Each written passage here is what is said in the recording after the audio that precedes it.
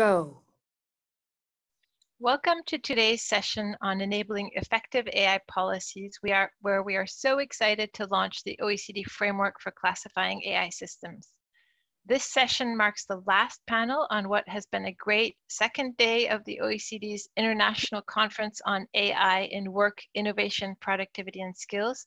And we've assembled a fantastic lineup of speakers today to discuss the, the role uh, of, um, of, of the classification framework. With us today, we have Marko Grobelnik, AI Research and Digital Champion, AI Lab of Slovenia's Jozef Stefan Institute, Dewey Murdick, who's director of Georgetown Center for Security and Emerging Technology, Olivia er-, Erdelyi, sorry, director of ethics and policy at Soul Machines, Viknesh Sounderajah, PhD clinical research fellow at Imperial College uh, of London Department of Surgery and Cancer, and Sebastian Hallensleben, who's head of digitalization and AI at VDE Association for uh, Electronic uh, Electronic electrical electronics. Um, so Marko, Dewey, Olivia, Vic, and Sebastian, thank you very much for joining us today. My name is Karine Perset. I'm the head of the AI unit um, uh, of in the OECD Digital Economy Policy Division, and I have the great honor of moderating, moderating today's panel. Before we get started, just a couple of housekeeping keeping items. Um, first of all, all the conference sessions are being webcast on the conference website and will be made available as video on demand on the OECD.ai Policy Observatory next week. Second, we'll have the opportunity to take a couple questions from those watching the webcast, and you can submit your questions via the chat function on the website. And third, if you're using social media, please do include the hashtag OECDAI in your posts. Um, so to kick things off, um, I will start with a high level overview of the framework for the classification of AI systems, if I can get this to work. Um,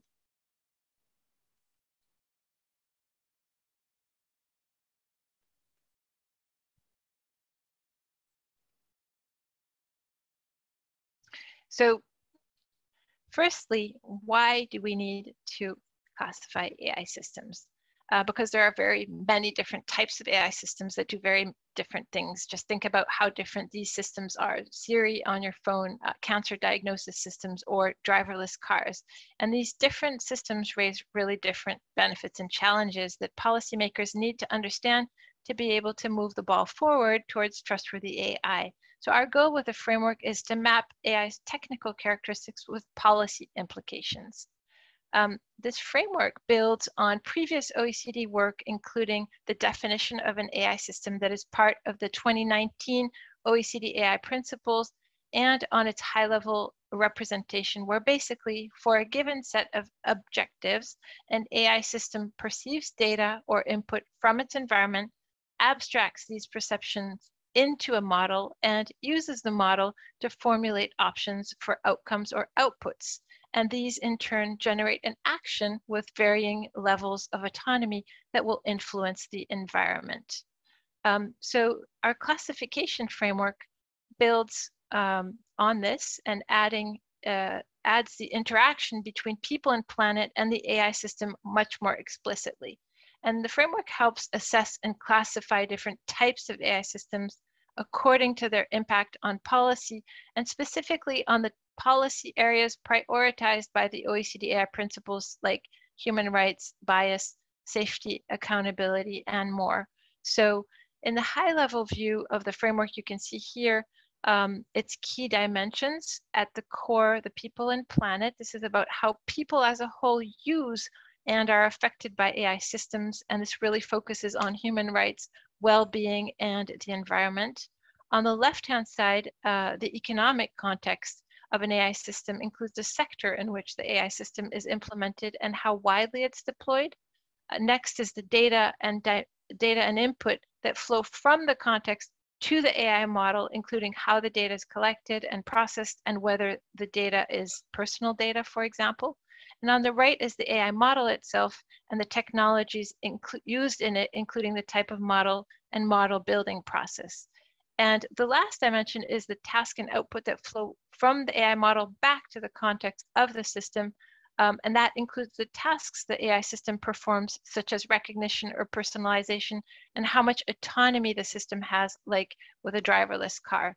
Um, so we can map the um, we can we can map the key dimensions of the framework to different stages of the AI system lifecycle to help identify some of the key actors that are relevant to each dimension, which is really important for accountability uh, and risk management measures. And these actors include end users, end users and stakeholders who use or are impacted by AI systems knowingly or unknowingly, system operators who plan, design, operate, and monitor AI systems, data collectors and processors, developers and modelers who build and use, verify, and validate models, as well as system integrators who are going to deploy AI systems. Um, and and this uh, final slide from me is is really uh, uh, about, you know, in a nutshell, um, explaining that this framework is is most relevant to classifying specific AI applications and aims to facilitate nuanced and really precise policy debate to help develop policies and regulations. Um, its key goals are to provide a baseline framework to help support and advance first a common understanding of AI and metrics, uh, two, uh, structuring registries or inventories of AI systems, three, sector-specific frameworks, and Vic will provide an example in healthcare, for uh, risk assessment and uh, an AI incident tracker, and Sebastian will explain how this is a, a key next step of our work uh, alongside many partners, and five, risk management uh, and work on accountability along the AI system lifecycle. So uh, just a few words about the process we used to develop the framework. This was a, the consensus of a group of over 60 experts from all stakeholder groups and all around the world. Um, we also conducted a public consultation last summer and hundreds of tests of the framework on actual AI systems um, this generated over 800 very helpful comments and survey responses based on which we improved the framework significantly. And we'd like to sincerely thank all those who took the time to comment and to test the framework. Um, so each dimension of the framework uh, has its own properties and attributes that are relevant to policy for particular AI systems. And we'll now uh, bring in our distinguished panelists to detail the actual framework. Um, and starting with Marko, uh, um, Marko, you, you co-lead the AI lab of Slovenia's Jozef Stefan Institute, which is a key partner of, uh, of uh, the OECD.ai Policy Observatory. And you're also a co-chair of the OECD expert group on the classification of AI systems.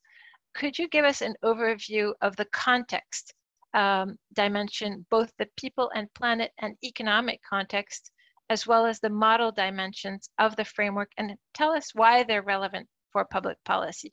Marko, over to you. Uh, thanks, Karine.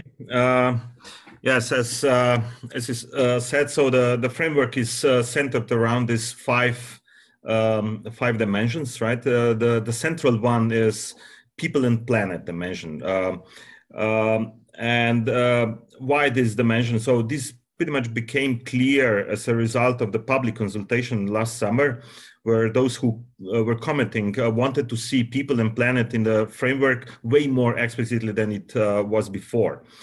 Uh, so who are the people in this uh, dimension? So people are primarily uh, users and stakeholders of AI systems, knowingly or unknowingly. And this is what this first dimension is focusing on.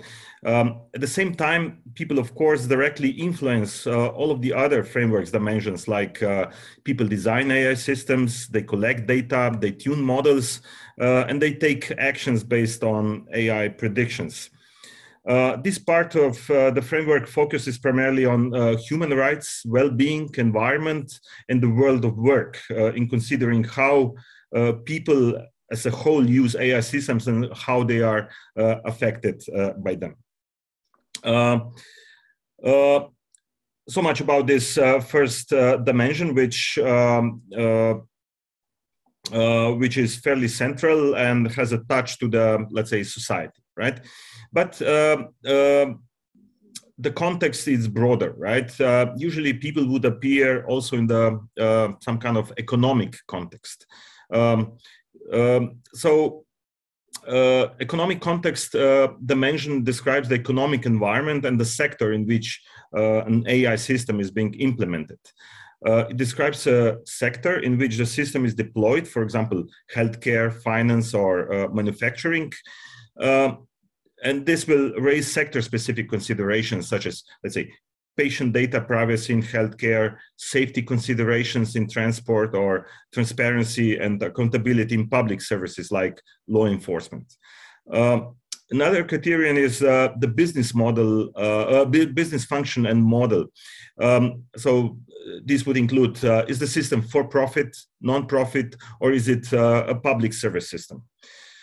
Uh, very important criterion is also criticality of the system. Uh, so where it's being uh, um, installed. Uh, for instance, would the disruption of the system affect essential services like energy infrastructure or water infrastructure, right? So this is uh, extremely relevant when it comes to reasoning about the system itself, right? another relevant uh, criteria within this economic context is also how widely the system is being deployed. For instance, is it just a pilot uh, where this criticality is a little bit lower, or a system is deployed across uh, the entire industry, right? Um, and of course, uh, related uh, concept is also techni- technical maturity of the system, right? Um, next uh, dimension is AI model in a way, uh, for us scientists or engineers, right? So we could say that uh, this is the heart of any AI system, AI model, right? Effectively, AI model is a computational representation of the external environment uh, of an AI system. Uh, in a way, we can say that uh, AI model is, is an operational and tangible summary of the data um, uh, an AI system is ingesting. Uh, this could include, for instance, sensor data, documents, images, processes, ideas. Uh, Dewey will uh, say more words on the data. Um, and now the AI model is kind of a summary, uh, operational summary of um, this external environment. And we classify these AI models um, into different types. Uh, usually we would um, uh, classify them into either statistical models, these are the most common nowadays, um, or uh, symbolic models, which are, let's say, more like representative of the uh, past uh, AI, although still symbolic models are still very uh, relevant. Most of the models actually which we use are hybrid, so kind of combination of uh, both. Uh, very important element here is also how the model is being used. so each model is uh, constructed with some objectives in mind and uh, with some corresponding performance measures uh, which we uh, try to uh, achieve. Now, key properties of uh, each AI model are the ones which we know from, let's say, policy documents or AI, OECD AI principles, for instance. This would include explainability, robustness, and possible biases which models have. Uh, uh,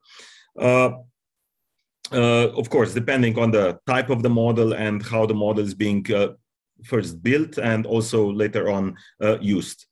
Uh, good example are uh, neural networks, which is these days uh, most popular uh, type of AI model, uh, which are very accurate, right? Um, um, but they usually are also black box. They are way less explainable.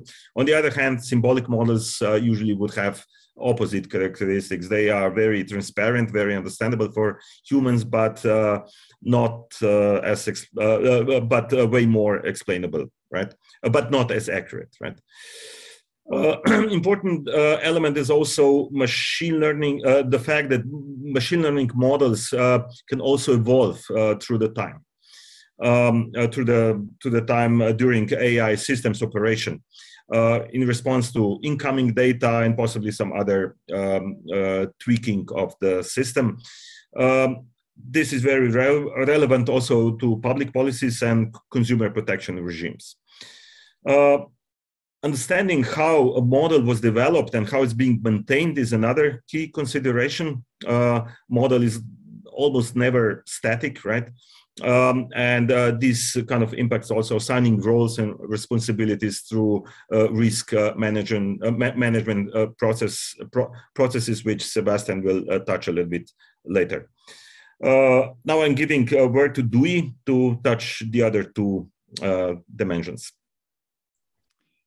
Thank you so much, Marko. Uh, I really appreciate the introduction. You've heard now about the context in which these AI systems are being deployed, and you've heard about the AI models themselves, some characteristics that are super helpful um, to understanding um, policy um, uh, implications of these characteristics.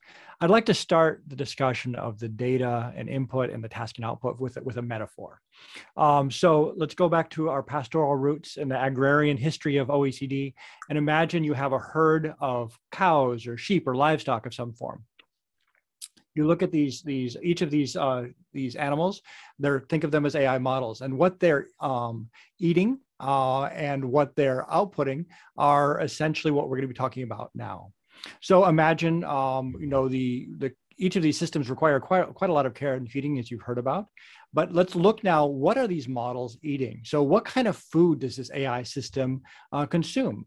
Uh, well, you might say, well, let's look at the data. What kind of structure what kind of format? Is it standardized? Is it unstructured? Is it is it something that has a lot of metadata in it? Does it have a lot of just raw data in it? Is this static or dynamic? Is this something we just get a data set and we use or is there a, a stream of some form? What's the scale of this data? And how much food is this model going to eat? Um, and um, is there are there dependencies that we should be aware of? Are there ip rights on this?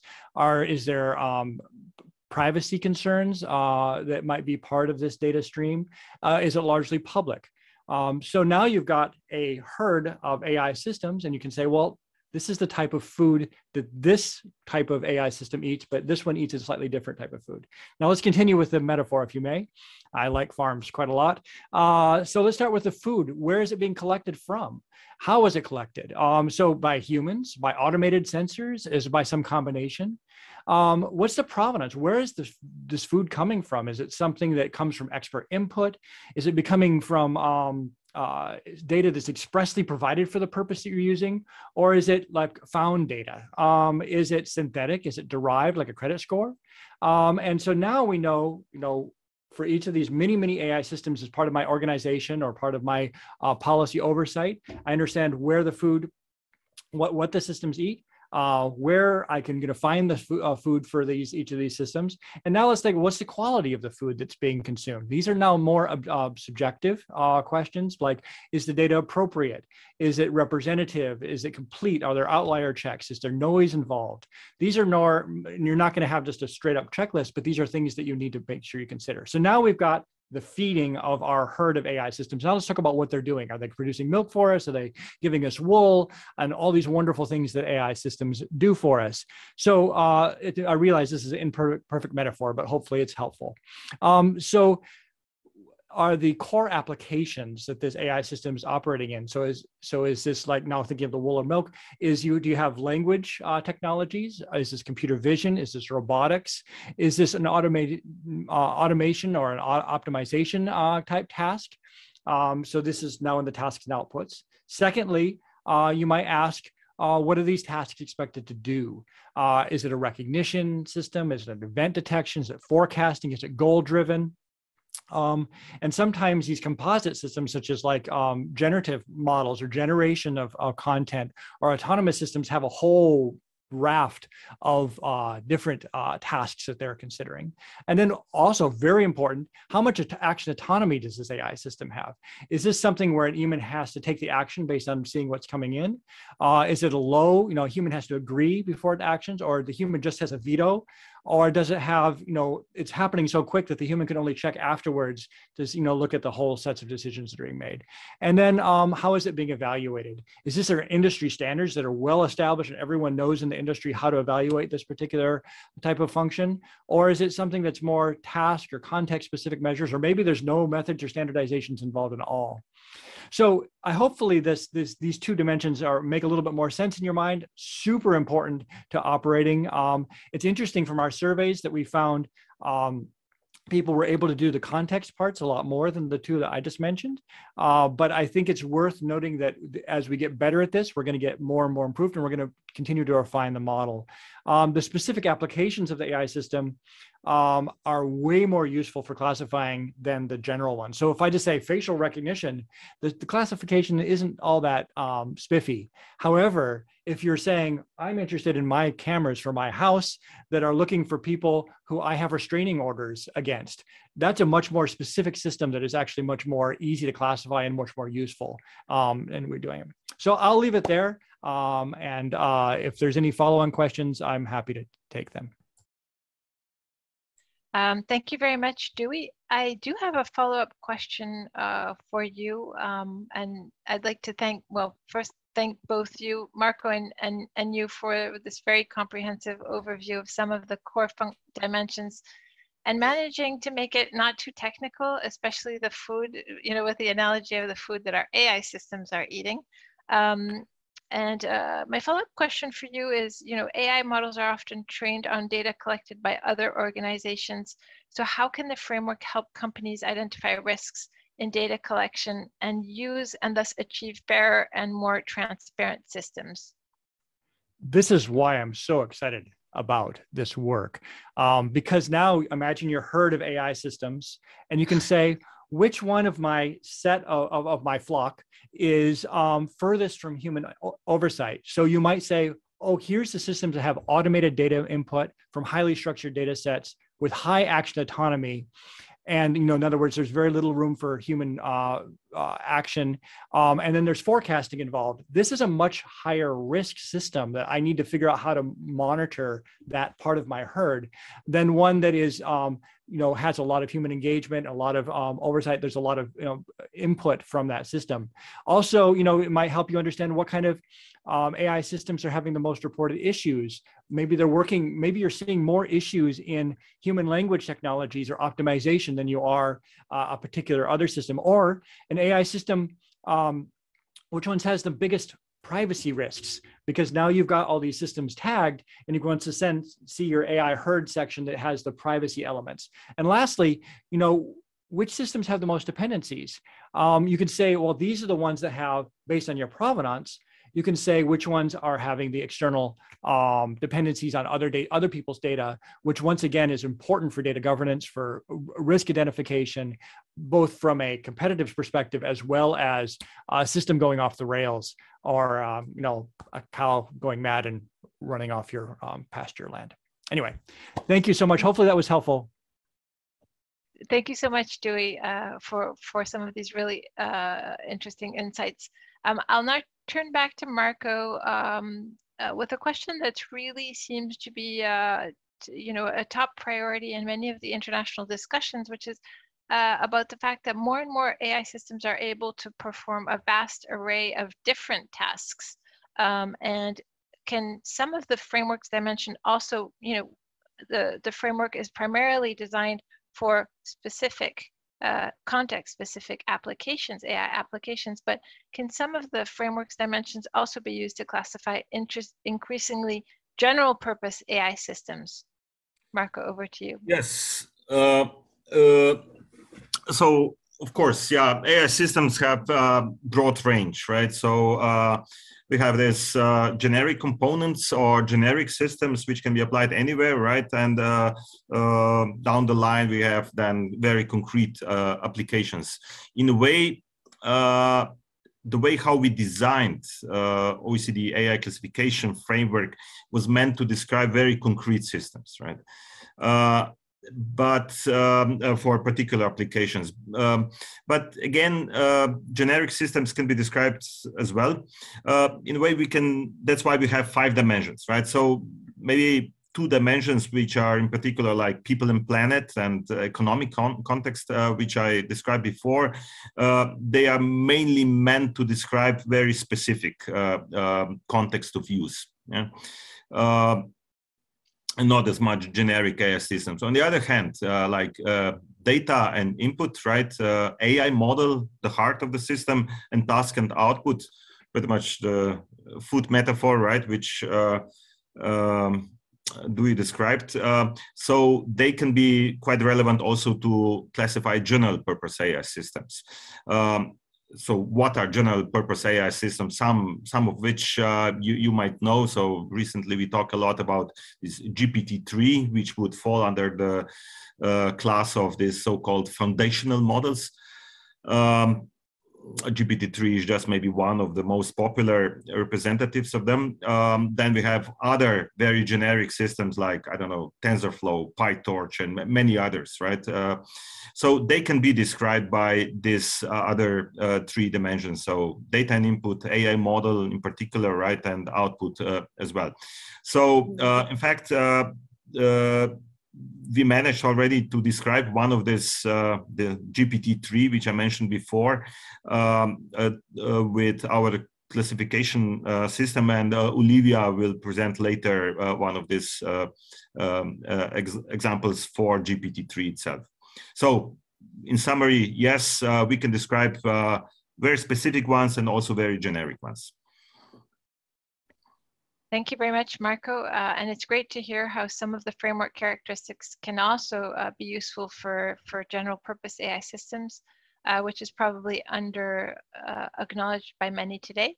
Um, I'd like to turn now to Olivia, uh, um, which uh, Olivia is, is Olivia as the Director of Ethics and Policy of Soul Machines and a lecturer, lecturer at the University of Canterbury in New Zealand, you're continuously exposed to a myriad of emerging AI application.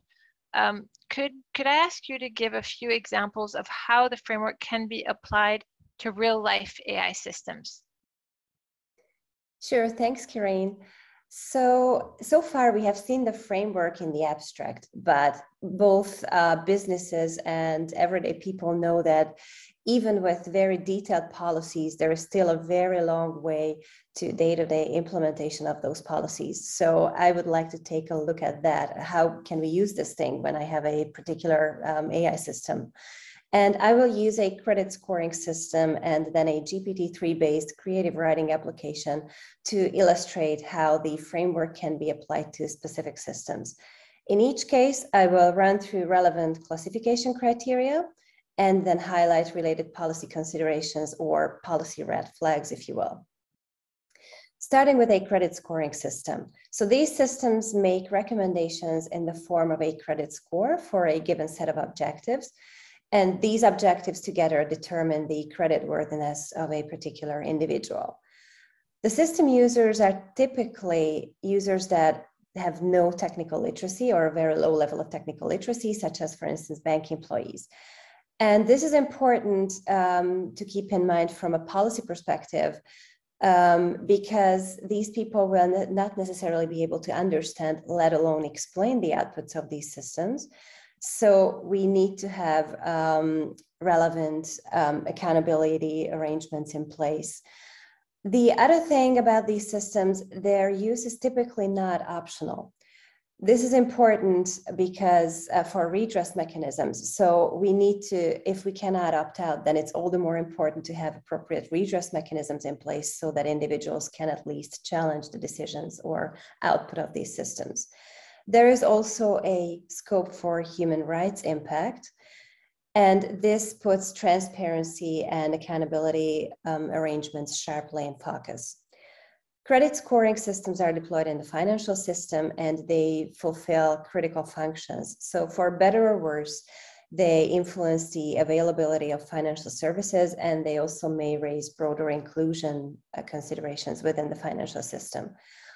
From a policy perspective, again, this means that risk management and accountability are high priorities. Talk, uh, turning to what the food is for this system, um, it takes um, data both from human and automated sources. And importantly, it uses a mix of proprietary and public data. Again, a red flag from policy perspective, whenever we are using proprietary data, we have to keep in mind that this can negatively affect the transparency and the explainability of the AI system. So again, appropriate accountability arrangements to counterbalance this may be important. Another thing is that the system often uses personally identifiable information, which raises privacy concerns. Turning to the model of the system, so these sorts of systems can work with uh, several models, for instance, a statistical, or as Marcus said, often we use hybrid models. And the model learns and inferences from the provided data and is also augmented by human knowledge. This means that the model performance is effectively a function of the quality of this data and the human knowledge. So it is important that the quality of both is really high. This means that the assumptions, for instance, that are underlying the rules or uh, have to be correct, and also the data should be representative and, for instance, bias-free, to just mention a few examples that you have to be aware here. The model also evolves during operation, which means that continuous evaluation is paramount.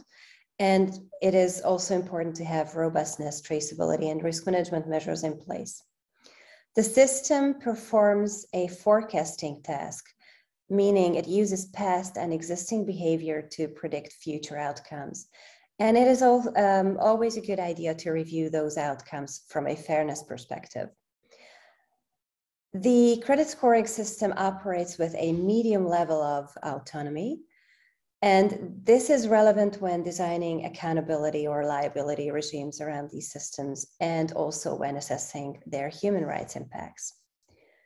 Moving on to GPT-3, so as uh, we have mentioned, these are um, general purpose AI systems, which is really interesting from the framework's perspective because it means that nearly all responses depend on the specific application context. So take, for instance, a system that would uh, provide medical advice. Contrast it with another one that would function as a content filter for conversational agents or social media platforms.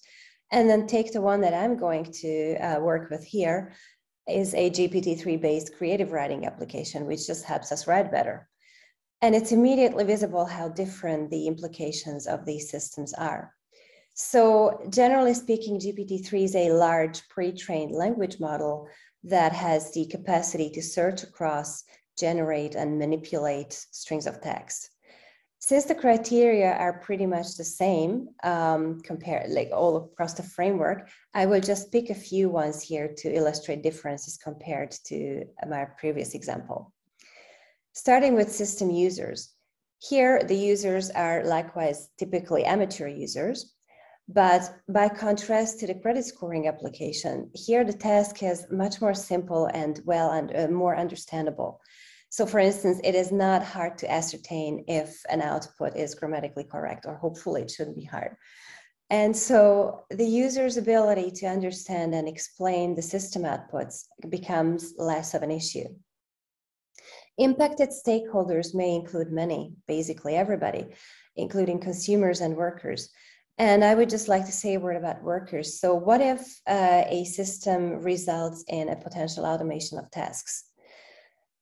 Such considerations may warrant some thinking around job quality, so how these systems may affect job quality, and even maybe uh, broader labor market impacts.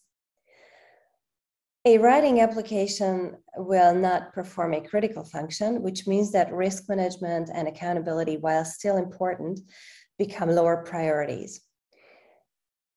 This particular GPT-3 system for creating writing applications uses largely public data sources. Again, from a policy perspective, this means that there are less problems around transparency and explainability of the system. And last but not least, these systems would operate, and again, I'm just talking about the creative writing application, um, so would operate with a low level of autonomy, which means that human action is always required to, for instance, use the generated text. And this is a further fact that lowers the risks of this particular application. So I hope these thoughts are helpful to understand how you could use this framework for your um, system at hand. And that would be all from me um, at this point. And I would turn it over to um, Karine again. Um, thank you, thank you very much, Olivia, and uh, for those uh, great, great examples. Um, and I, I have a follow-up question for you, which is that more and more organizations are talking about the need to build uh, AI systems that are human-centric, uh, but also environmentally sustainable. Um, and since the framework places the well-being of people and planet at the center, at the core, um, do you see it being useful to increase awareness of environmental benefits and risks of AI systems? Thanks for the question, Karine. So absolutely. Uh, I believe that the framework can support both individual and organizational decisions to design, adopt, and deploy AI systems. This often happens in conjunction with other policy instruments. In this particular scenario, the UN Sustainable Development Goals are the most relevant ones. So let's see how the system or the framework can help uh, these decisions. So especially organizational decisions are primarily guided by business and or organizational objectives. But I believe that the framework has the potential to broaden decision makers' horizon. Recall that the framework links ethical, environmental, and policy considerations to each of its five dimensions, but also to relevant stages of the AI system lifecycle. And this may be really helpful, for instance, to guide design choices. So it could, for instance, encourage the consideration of the energy consumption of a candidate AI system or several, if, if we are deciding about which particular AI system to implement. And such considerations could in turn then potentially foster the development of more sustainable technological solutions. Or in the deployment and operating and monitoring stages, it could encourage the consideration of what stakeholders or what part of the environment the system impacts and how exactly. And these sorts of insights would ideally need to be fed back into future design considerations. So these are just two examples of a kind of less perceptible or less obvious way in which the framework can be helpful. But overall, I think that the framework is a useful tool to support organizations' strategic planning and processes by, first off, drawing attention to relevant environmental and ethical risks and benefits. And also, perhaps even more importantly, pinpointing exactly in what dimension and life cycle these uh, risks and benefits are relevant. So that is really helpful for organizational processes to plan when you have to kind of consider these risks and benefits. I hope that answers the question. Thank you so much, Olivia. We're, we're running just a tiny bit uh, late, so I'm going to go quickly over to Vic, um, uh, Viknesh. Uh, Vic, you're a clinical research fellow at Imperial College looking at AI evidence standards for health tech assessment programs. And this is a very exciting development for us uh, as you are the first um, to make use of the system, uh, or, or, one of the first at least, um, and ask you to share your insights on using the OECD framework for classifying AI systems in your work, uh, sector-specific work.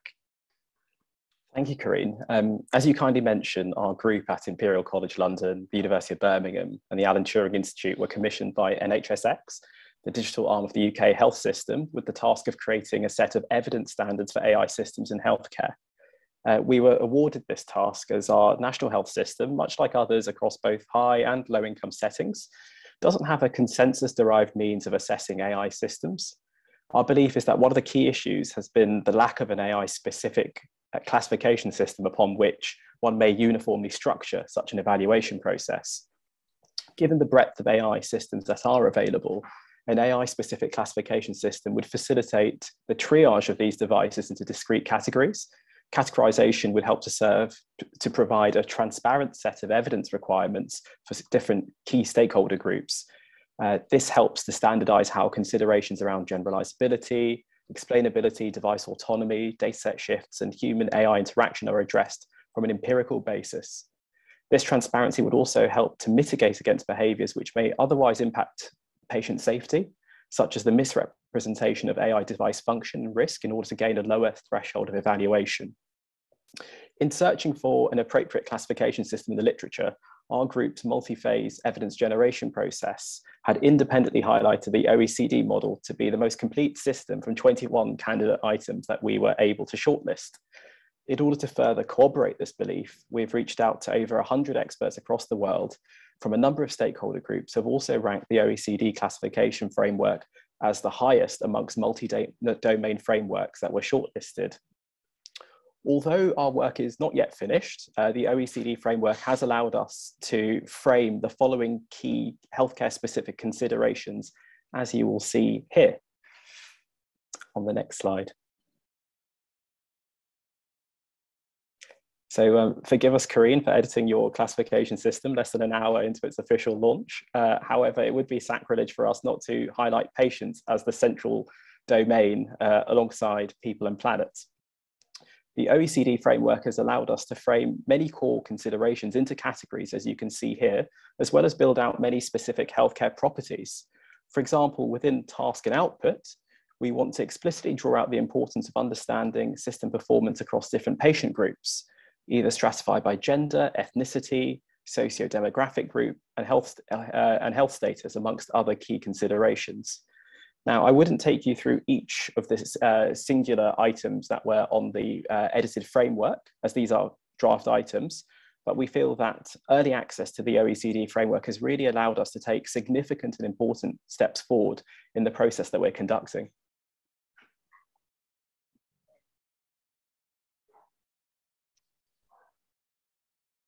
Thanks very much, uh, Vic.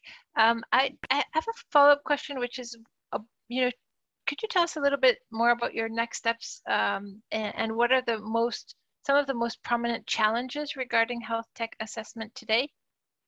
Absolutely. So um, although we do sort of follow the classification system that has been developed through a consensus process, we do intend to go through our own public consultation phase in the, over the coming months in order to get, uh, get greater feedback around each of the individual items and properties that we have assigned to each of the domains that you've created. Um, following this, we aim to release a formal report detailing our evidence standards framework uh, this summer, which will be published through the, uh, the National Institute of Health and Excellence in the United Kingdom. Um, in terms of some of the more prominent challenges that we've found and we're currently facing, um, it's around where to um, place the evidence threshold, particularly in the health sector, and what constitutes best practice.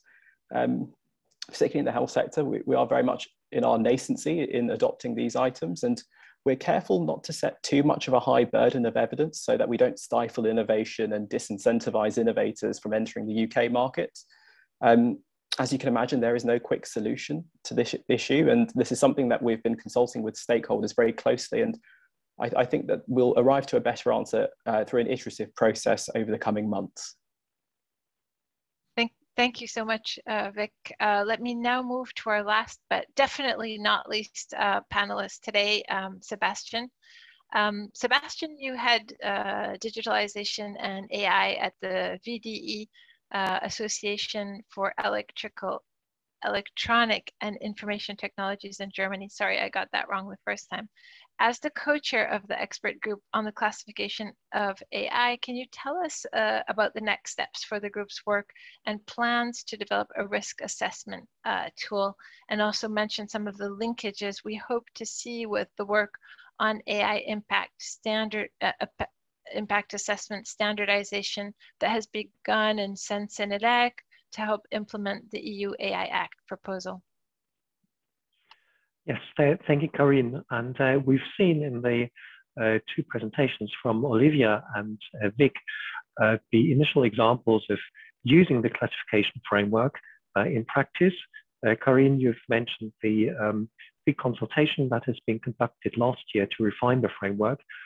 So we have reached a fairly mature stage, but of course, um, there is further work to be done as the class classification framework, framework is being used in practice to refine classification criteria and to add more real-world AI systems and to identify and refine possible indicators within the classification framework. From that basis, we are starting to be able to answer one question that is being asked again and again when AI is being used or the use of AI is being considered.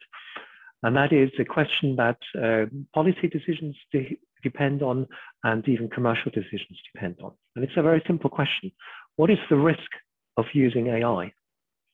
And uh, the clear answer is, well, it depends. It depends on the economic context. It depends on the people who are using or are affected by the AI system. It depends on the data that goes in. It depends on the model, on the algorithm itself. And it also depends on the tasks and the output that an AI system generates.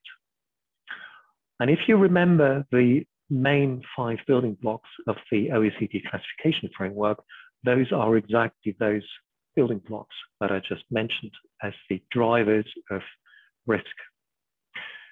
So it's fairly um, obvious that we could use the classification framework also in the context of risk assessment. And there is a potential there for simplifying the world for users, for manufacturers and operators of AI, because if an AI system or an AI application has already been classified, it would be really nice to use that information, that wealth of information that has been collected, to also ideally automatically assess the risk of that AI system. And this is exactly the uh, next major step that we're going to take with the classification framework to see how can we map that framework onto risk levels. Now, in this work, we're going to uh, look at uh, some of the um, more common risk classifications that, that have emerged. Um, one of the um, big examples is the classification framework that has been proposed by the European Commission in their draft AI Act that distinguishes four different levels of risk. And uh, those um, risk levels will need to be defined in more detail. Um, and again, the classification framework will be a very useful guide for that. Um, and it'll also need to be mapped onto uh, standards. I, am the chair of European AI standardization at uh, CENELEC, and within that, a lot of the rules and the governance um, of that um, risk classification will be underpinned with detail. So looking forward, the goal for the OECD framework is to derive risk assessment, ideally with little or, or none extra effort, to consider how can that risk assessment be operationalized in practice, what tools might be needed, and how can it be integrated in the broader context of risk management, of risk mitigation, of enforcement, of compliance processes um, along the AI lifecycle. And with that little sneak preview on further work, I'm handing back to you, Karine. Thank you, Sebastian, uh, for, for, for those insights on, on OECD and EU work. I, I, I you know, uh, you, you talked about the AI risk assessment work. Um, in in at the European level and and and now OECD. And since this is a trend we see worldwide, uh, I was wondering what linkages you see between this you know this work uh, and that of players like like ISO and NIST, um, and how we could maximize uh, interoperability of you know terminology concepts and and the frameworks that we end up using even though uh, we have different constituencies and you know different different end users of these uh, of these frameworks or standards? Um, well, handling AI risks and also AI terminology and AI classification is a consensus building process. So uh, classification only makes sense if as many stakeholders as possible agree that this is a useful way of describing an AI system or, or the, the use of AI. Um, and uh, the standardization world that, that you just touched on at ISO, IEC, um, ITU, um, at also regional levels, is overall a large consensus building exercise. Having said that, if we look at what has already been achieved in OECD, this is also a major consensus building exercise that has already been concluded, including taking on board the comments from the consultation. So the framework that we're launching today already represents a pretty broad consensus. And I see that as a very, very useful foundation for consensus building um, uh, processes in other uh, fora, in, including standardization, uh, to build on it, to extend it, so that we do get to, a, as, to an understanding of AI that is as, as global and as consensual as possible. Th thank you so much, Sebastian, uh, for, for this really useful insight on standardization as, as a consensus building process. Uh, and, I, and I have to say, we're really grateful to have you as co-chairing the OECD work uh, to help you know, establish as many links and interoperability as possible, along with obviously our, our, our other co-chairs. Um, so we're running a little tight, uh, we're running very tight on time, uh, but I'd like to ask you each uh, a closing question um, to, uh, and could I ask you to please keep your answers to one, uh, up to two, uh, maximum two minutes, but ideally one minute each. Um, and this question is, the single most important uh, thing that we could do to democratize the use of the framework to maximize the benefits of AI technologies and uh, minimize their risks. And maybe we can reverse the order of replies for this one. So let's uh, start with Sebastian, then Vic, Olivia, Dewey, and Marko. Uh, so uh, Sebastian. Well, if we talk about democratizing the framework in terms of really making it available to individuals, both as in their role as consumers and in their role as uh, citizens and people being affected by AI, I think we will need to think about um, how to wrap the classification framework in an interface that is accessible to everyone or almost everyone, whether it's an app, whether it's a, some, so some other mechanism of, uh, of delivery. But uh, there are many good and excellent examples of good user interface design out there. Um, and uh, I think we need to take some inspiration from those. Vic? Uh, I, I, concur, Sebastian. So I, many industries face similarly themed challenges in effectively and safely implementing AI systems in their workflows. Healthcare and aviation have historically had comparable high thresholds for safety. It would be wonderful if there was an ongoing online platform, app, forum for interested stakeholders from across sectors and geographies so that everyone could interact, share experiences, and disseminate their own edits like our like our one uh, of, of um, within the health sector. I think this could really um, accelerate the safe and meaningful adoption of innovations across sectors worldwide. Thank you, Olivia.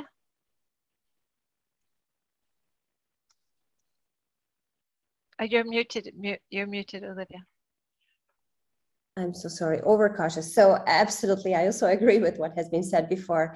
And uh, it's important to get as much feedback um, as possible from users of the framework on an ongoing basis. So we had the consultation so far, but it's not the end of it. We need to keep it up and um, learn from new feedbacks. And um, I think it's also important to coordinate with other AI stakeholders, be it policymaking bodies or any other stakeholders that are involved in, in the process of co-creating AI policies because um, it's hard for people who are not necessarily uh, vested with policies to have an overview of what's going on and what organization does what exactly. So if we can link our work to other organizations' work, that's always helpful. Thank you. Thank you, Olivia Dewey. I think the most useful thing that we can do now is populate this um, taxonomy with a lot of different AI systems. Uh, we need this number to go up. We need diverse systems to be in there because it's going to break it in some way. And you're like, oh, wait, that's a really good point. Let's refine it a little bit. Much like Carl Linnaeus, when he created the taxonomy of uh, flora and fauna, um, this is a, a, great structure. But when you actually get a duck-billed platypus, uh, it breaks the system a little bit. And you're like, oh, wait, it doesn't actually work like this. So you've got to put it in a different way. So I think, you know, populating the systems is is the uh, way to democratize this, in my opinion. Thanks a lot, Marko. Yeah, so uh, I think the biggest contribution is first that we aligned our views, right? So this is uh, one important step, which took us uh, almost two years, right? Um, but the main uh, thing which may impact uh, also in accordance to European AI Act and other efforts is this uh, evidence-based approach, right, which uh, we are pursuing, and uh, also uh, like a, as a relatively fundamental underlying framework is OECD AI uh, Policy Observatory, which collects all of the data, right, and which can trigger or or, or uh, show us kind of a landscape of where AI is evolving, right? So this is very important because uh, um, you know if we approach uh, uh, this kind of classic classification schemas only from top down, we can obviously introduce biases which we might uh, where we don't want uh, uh, to be there. So basically, we want to see the complete landscape and out of this and kind of elicit the uh, the, the, the approach, right? So uh, this would include also one of the follow-ups on this uh, policy observatory, which will include collection of AI incidents, which would be some kind of edge cases, right? Uh, and also test cases for uh, classification framework. We also need to be aware that A, AI of today is not AI of to tomorrow, right? Um, and in that sense, um, uh, this framework will evolve, I would guess. I mean, AI of tomorrow, we almost, we as researchers, academics, we see where it's going, right? and it may become way more challenging. Uh, and in that that respect, so how we, uh, I, th I, think we we build really good fundamentals for the moment, but let's say in the two three years time, certainly uh, will be somewhere else. Thank you very much. Uh, I think those are those are all uh, spot on uh, and and and the priorities moving forward. Um, I'd now like to move on. We only have just a couple minutes uh, for with, to our Q&A with the audience. Uh, we've received some interesting questions. We won't have, we'll only have time to address one at most and, and maybe even just part of one. So what we'll propose to do is uh, address those questions on uh, uh, separately in writing on oecd.ai slash classification. Um, and so we'll work on those over the couple the the the couple uh, next weeks. Um, and so you'll so your questions will not go unanswered or comments will not go unanswered. Um, uh, but turning to, to to some of these questions, uh, I'll choose one from uh, uh, uh, Nicolas Miailhe, who, who, whom, whom we know well, um, and who asks um, a lengthy question, so I'm just going to try to break it down into uh, manageable chunks, um, who asks, are there fitness for purpose challenges related to the classification framework in constraining its deployment by actors in government, business, uh, etc. Um, so whether it's fit for purpose for different, uh, you know, for different uses. If yes, can we frame them? Uh, and frame pathways to address them. For example, classifying for impact assessment, um, for policy design or regulatory design. Um, so I don't know if uh, if if if uh, maybe Dewey you want to have a shot at this question?